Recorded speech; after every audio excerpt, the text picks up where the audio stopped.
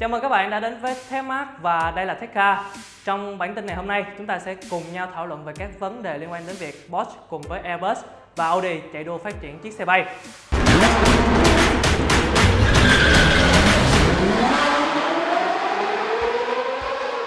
Khi nghĩ đến ngành công nghiệp xe hơi hiện nay, hầu hết các nhà sản xuất đều đang tập trung sự chú ý cho những chiếc xe tự lái. Tuy nhiên, đối với Bosch, nhà sản xuất đứng đằng sau những chiếc 911 kinh điển, công ty hiện đang muốn tạo ra những chiếc xe bay để chuyên chở khách trong những khu vực đô thị đông đúc. Ô tô tự lái và xe điện đang ngày càng trở nên bình thường hóa, trong khi khái niệm về những chiếc xe bay vẫn đầy thú vị bởi vì tính mới mẻ của chúng. Giám đốc bán hàng của Bosch cho biết với một chiếc xe thể thao bay thì việc đi từ nhà máy của Bosch ở Zuffenhausen đến sân bay Stuttgart sẽ chỉ mất 3 phút rưỡi, thay vì ít nhất nửa giờ đồng hồ như trước đây. Trong khi ứng dụng của những chiếc xe bay không còn quá viễn tưởng, thì việc chứng kiến chúng xuất hiện trên thực tế trên những con phố sẽ cần thêm nhiều thời gian.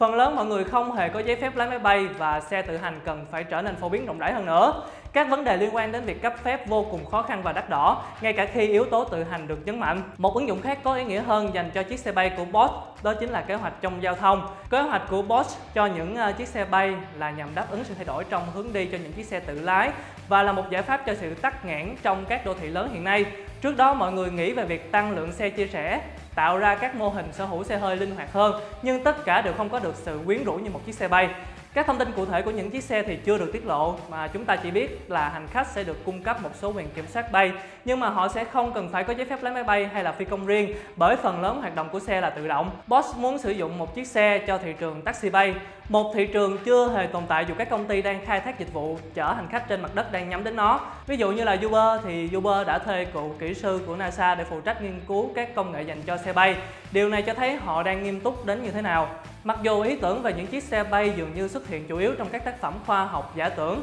nhưng đã có vài công ty đã bắt đầu bắt tay vào nghiên cứu những chiếc xe bay. Tại triển lãm ô tô Geneva vào năm ngoái thì Airbus và Volkswagen, công ty mẹ của Bosch đã giới thiệu mẫu xe ý tưởng mang tên là Pop-up, một chiếc xe bay hai chỗ ngồi và năm nay chúng ta có phiên bản kế nhiệm đó là Pop-up Next gắn mát Audi với thiết kế mô đun mới lạ Bình thường thì chiếc xe sẽ hoạt động dựa trên một tấm ván chạy điện và nếu như có tắt đường thì một chiếc drone sẽ đến đón chiếc xe đến đích mong muốn. Cũng tại Geneva năm nay thì hãng Bonvi của Hà Lan cũng đã giới thiệu phiên bản sản xuất của chiếc Liberty và dự kiến là giao cho khách hàng đặt cọc trước vào năm 2019.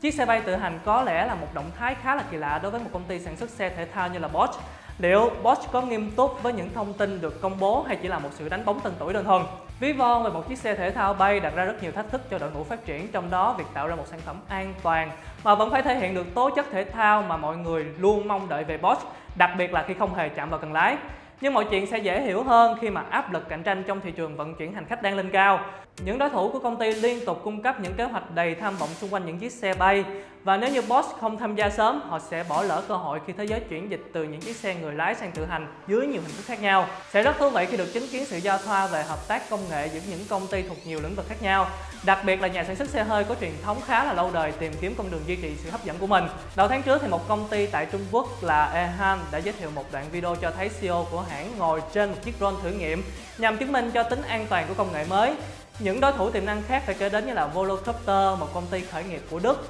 dưới sự hậu thuẫn của Daimler, công ty mẹ của Mercedes-Benz, Terrafugia của Mỹ được Geely ủng hộ, Lilium Jet, Evolvo, Joby Aviation hay là Uber. Công ty cũng mong muốn phát triển những chiếc xe bay nhằm giải quyết vấn nạn ùn tắc ở các thành phố lớn. Kế hoạch thử nghiệm xe taxi bay của Uber sẽ được triển khai ở Dallas, Los Angeles và Dubai vào năm 2020. Đồng sáng lập Google Larry Page cũng đang hỗ trợ cho hai dự án xe bay của ờ, Toyota và Airbus. Sức nóng đang tăng dần và hy vọng Bosch sẽ sớm cung cấp những bản phát thảo đầu tiên của họ về phương tiện của tương lai kia. Ở thời điểm hiện tại thì chúng mình tin chắc rằng hầu hết mọi người sẽ muốn ngồi trong một chiếc xe tự lái hơn là một chiếc drone, trực thăng hay là xe bay tự lái ít nhất cho đến khi công nghệ phát triển tạo dựng được sự tin tưởng về độ an toàn và tiện lợi. Chiếc xe thể thao bay là một phần trong chiến lược tới à, 2025 của Bosch, nhưng điều đó không đồng nghĩa là chúng ta sẽ cất cánh sau 7 năm nữa. Thay vào đó, hãy coi đó là một mốc thời gian để tiếp tục mở rộng về tương lai khi mà Bosch không còn quá tập trung kiếm tiền trên những chiếc SUV hay là các biến thể của chiếc 911. Và vừa rồi là những quan điểm của Techmark về xe bay. Còn các bạn khán giả của Techmark, các bạn có những suy nghĩ gì về công nghệ mang tính tương lai này thì hãy để lại bình luận bên dưới chúng ta cùng thảo luận nhé. Còn bây giờ thì mình xin chào và hẹn gặp lại các bạn trong những video khác trên Techmark.